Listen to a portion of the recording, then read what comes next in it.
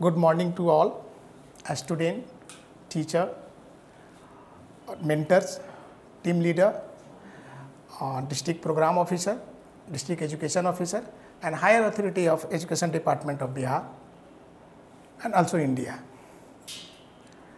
Today we are going to start second phase of Gaya guidance program under guidance of program director and DPO Saranand Kumar. इस गया guidance programme में क्या आवश्यकता है? तो इस गया गाइडेंस प्रोग्राम के कितने पिलर हैं? मैंने अभी सबको मॉर्निंग किया, वो सारे पिलर हैं। इन पिलर में सबसे अहम भूमिका किनकी है? कि अगर ये नहीं होते या नहीं रहेंगे तो क्या हमारा ये प्रोग्राम सफल होगा या नहीं होगा? उसमें सबसे अहम भूमिका शिक्षकों की है। वो शिक्षक जो पिछले वर्ष पैनेडेमिक काल में गया गाइडेंस प्रोग्राम के तहत काम, कार्य करके और मैट्रिक का रिज़ल्ट जो 2021 में जो पब्लिश हुआ, उस रिज़ल्ट में जो उन्होंने अपना परचम लहराया, वो देखने और सुनने योग्य है। जिसमें हमारे बिहार के और गया के बच्चे टॉप टेन में भी रहे। यानी पिछली वर्ष एक प्रयोग था और वो प्रयोग एक ह्यूरिस्टिक प्रयोग था, अनुमानी प्रयोग था। इस बार हम लोग उस प्रयोग में, पिछले वर्ष के प्रयोग में सफल हुए।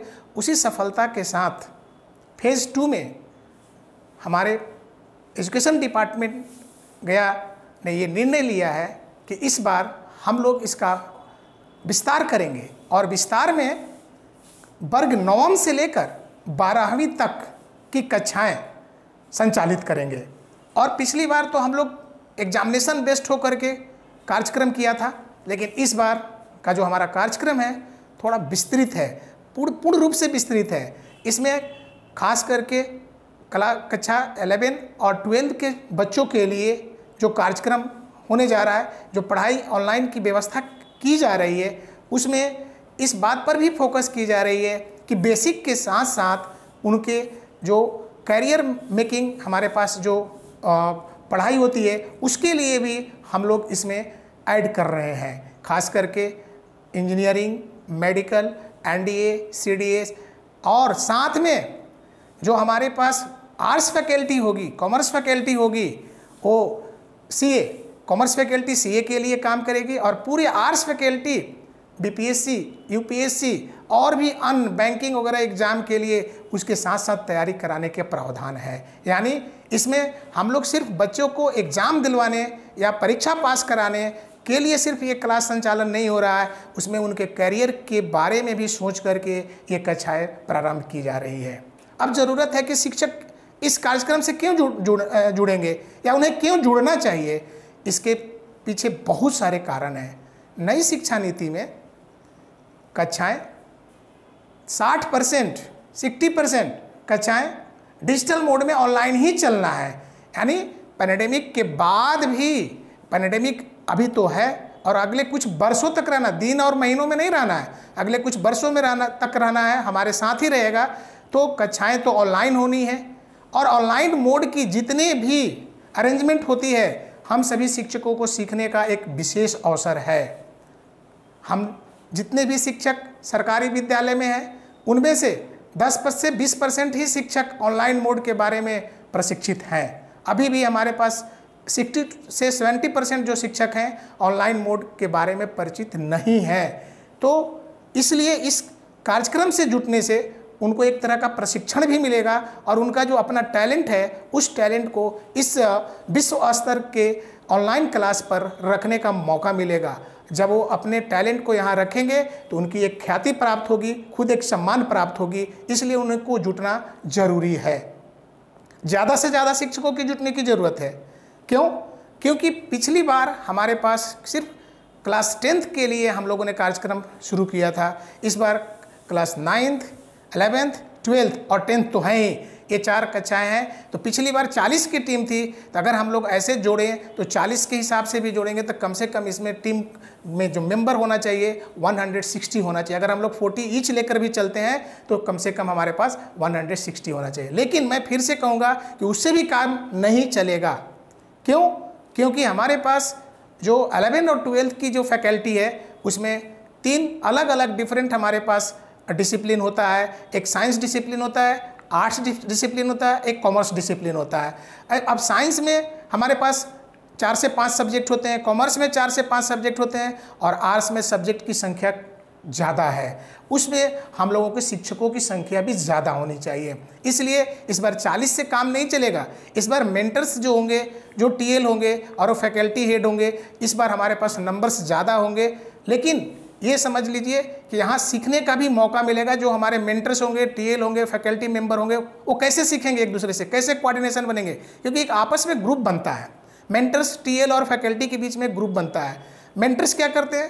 पहले उस अपने टॉपिक को तैयार करते हैं, वो टीएल को देते हैं। टीएल उनको एक बार सुपरवाइज करते हैं। सुपरवाइज करने के बाद वो फिर फैकल्टी को अपना देंगे, वो सुपरवाइज करेंगे। उसके बाद जो प्रोग्राम डायरेक्टर होते हैं, वो एक बार उसको सुपरवाइज करते हैं। अगर कोई एक टॉपिक चार नज़रों से गुजरेगा तो उसका जो भी थोड़ा एरर होता है, वो क्लियर हो जाता है और उसमें इन चारों को सीखने के एक दूसरे से मौका मिलता है। इसलिए यहाँ पर एक सीखने का बेहतरीन अवसर भी होता है कि यदि हमारे पास अगर किसी शिक्षक का बहुत दिनों से कोई टॉपिक छूटा हुआ है, उस टॉपिक को आप सेलेक्ट करें और यहाँ पर ला करके टॉपिक को रखें और रखने के बाद जब तक ये फाइनली ये चार लोगों के द्वारा वो टॉपिक अथोराइज नहीं होता है, तब तक उसका ऑनलाइन क्लास में डिलीवरी नहीं होती है। इसलिए ये हमारा जो प्रोग्राम है, इसलिए पिछले वर्ष सफल था, क्योंकि ये कोऑर्डिनेशन बना हुआ था और हर एक टॉपिक पर जब ये मंथन होती थी, जब वो फाइनलाइज होता था, तब उसको डिस्प्ले किया जाता था। इस बार भी वैसा ही है। इस बार और भी एक लोग, एक एक टीम जुट रही है, जो फैकल्टी जुटेगी फैकल्टी हेड जुटेगी तो एक और यानी पिछले बार तीन का हमारे पास होता था सुपरविजन इस बार चार का होगा। तो इसलिए हमारे पास टीचर की ज़रूरत है। शिक्षक क्या करते हैं? शिक्षक छात्र की भविष्य बनाते हैं। हम लोगों, हम लोग जो शिक्षक हैं, जिस भी स्कूल में रहते हैं, गया ज़िले के 24 ब्लॉक में जितने भी शिक्षक हैं, सभी शिक्षकों में टैलेंट है। टैलेंट अपने दिखाने का एक मौका है। ये आपके पास अवसर है। इस अवसर को बुनाने का कार्य करें। क्योंकि आप अपने अपने टैलेंट को जब तक इस ऑनलाइन मोड में ला करके नहीं रखेंगे, जब तक इस स्तर पर ला करके नहीं रखेंगे, तब तक सिर्फ़ आपको विद्यालय या आपको बहुत ज़्यादा होगा तो ब्लॉक, उससे ज़्यादा होगा तो डिस्ट्रिक्ट। और वो भी डिस्ट्रिक्ट तक बात आपकी पहुँच रही कि नहीं पहुँच रही, ये भी कोई ज़रूरी नहीं है। तो आपको अगर अपने टैलेंट को विस्तार करना है, आपको बताना है कि मैं भी हूँ जो कि एक शिक्षक और मैं भी बेहतर शिक्षक हूँ। अगर अपने आप को बेहतर साबित करना है तो आप आज के आज आप डीपीओ माध्यमिक आनंद सर के ऑफ़िस में आइए और अपना नाम नॉमिनेशन कराइए, नाम दर्ज कराइए। देर नहीं करें, क्योंकि आज जो इंट्रोडक्शन हो रहा है, आज इंट्रोडक्शन के बाद चार से पाँच दिन के अंदर फ़र्स्ट क्लास शुरू हो जाएगा।